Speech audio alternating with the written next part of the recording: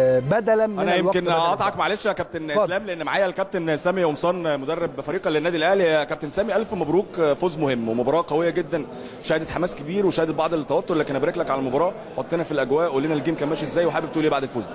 طبعا زي ما أنت قلت مباراة صعبة جدا ويمكن آه، نتائج امبارح صعبت المباراة أكتر على نادي سموحة. اللي طبعا بشكره عمل مباراة كبيرة وجهاز فني طبعا آه، على أعلى مستوى لكن الحمد لله إحنا كان عندنا إصرار وتصميم إن إحنا إن شاء الله مش هنفرط في في النقاط اللي لينا والحمد لله كان عندنا الحمد لله الأغلبية وعندنا تصميم إن إحنا نكسب.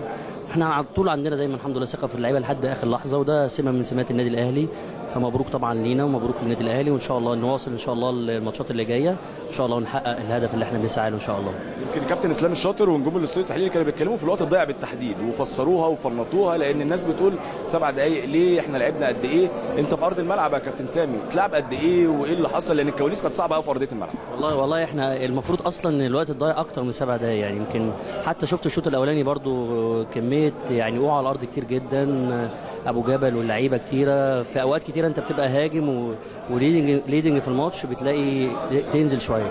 لكن أعتقد يعني إن يعني حتى لو الراجل ادى سبع دقائق أو سبع دقائق ونص إحنا شفنا في بطولة أوروبا اللي الناس أصلا ما بتديش فيها وقت ضايع لما حصل فيها إصابة لصلاح الراجل ادى 8 دقائق فدي بتحصل في كل في كل بلاد العالم يعني. دي وده عمره عمره الراجل ما هيدي وقت ضايع مش ما, تلعبش فعلا لأن دي حقيقة. فالحمد لله إحنا آه بنحمد ربنا والفوز آه اتاخر شوية وكان صعب شوية لكن الحمد لله الأهم اللي إحنا كسبنا الحمد لله.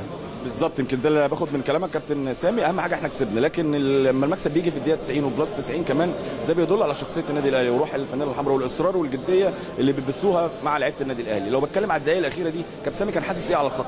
أنا زي ما قلت لك إحنا على طول عندنا ثقة في لعيبة النادي الأهلي حتى في آخر لحظة. ممكن دي سمة من سمات النادي الأهلي الحمد لله اللي النادي الأهلي بيقاتل لحد كده.